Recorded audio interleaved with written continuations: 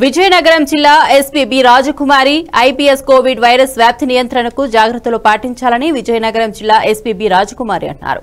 పట్టణంలో Kota junction గంటస్తంభం junction Kanyaka Parameswari temple junction Balaji junction SP bungalow junction మరియు ఇతర ప్రధాన కూడలిలో పర్యటించి ప్రజలకు బస్సులలో ప్రయాణించే ప్రయాణికులకు కోవిడ్ వైరస్ నియంత్రణకు తీసుకోవాల్సిన జాగ్రత్తల గురించి మరియు కోవిడ్ వ్యాక్సిన్ ప్రాధాన్యత గురించి అవగాహన కల్పించారు. ఈ సందర్భంగా జిల్లా ఎస్పీ మాట్లాడుతూ ప్రజలు బహిరంగ ప్రదేశాలలో తిరిగేటప్పుడు విద్యార్థులు పాఠశాలలు కళాశాలలో ఉండే ఉండేటప్పుడు తప్పనిసరిగా మాస్కులు ధరించాలన్నారు. ముఖ్యంగా విద్యార్థులు ఫ్యాషన్ పేరుతో మాస్కులు ధరించడం లేదని వారికి కోవిడ్ వైరస్ సోకడం ద్వారా వారి కుటుంబ సభ్యులకు వైరస్ సోకే ప్రమాదం ఉందన్నారు. విద్యార్థుల కారణంగా కుటుంబ సభ్యులకు ఎటువంటి ఇబ్బంది కలగకుండా ఉండాలంటే తప్పనిసరిగా మాస్క్ ధరించాలన్నారు. కోవిడ్ వ్యాక్సిన్ గురించి చాలా మందిలో అపోహలు ఉన్నాయని అందువలన కోవిడ్ వ్యాక్సిన్ వేయించుకోవడానికి కొంతమంది ముందుకు రావడం లేదన్నారు.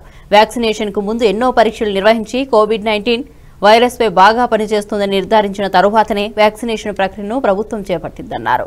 వ్యాక్సినేషన్ పై ఎటువంటి అపోహలు పెట్టుకోవద్దని పద్దెనిమిది సంవత్సరాల నిండిని పిల్లలు గర్భిణీ స్త్రీలు బాలింతలు తప్ప మిగతా వారందరూ కోవిడ్ వ్యాక్సిన్ వేసుకోవచ్చన్నారు ముఖ్యంగా నలభై ఐదు నుంచి అరవై సంవత్సరాల మధ్య వయసు ఉన్నవారు బీపీ డయాబెటిక్ ఉన్న రుగ్మతులు ఉన్నారు తప్పకుండా వ్యాక్సిన్ వేసుకోవాలన్నారు.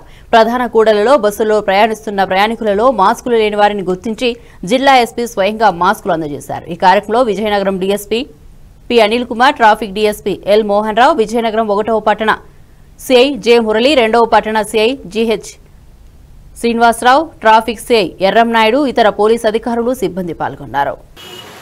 చనిపోతారన్న భయం ఉండదు. లేదంటే వ్యాక్సినేషన్ లేకుండా ఒకవేళ వైరస్ సోకింది అనుకోండి మీరు చూసుంటారు కదా చాలా మంది లాస్ట్ ఇయర్ ఎమర్జెన్సీ రూమ్స్లో వెంటిలేటర్స్ లేక బెడ్స్ లేక చాలా మంది చనిపోయారు.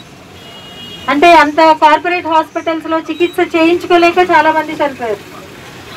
అలాంటి పరిస్థితి రాకుండా ఉండాలంటే మీరందరూ కూడా తప్పనిసరిగా మాస్క్ ధరించాలి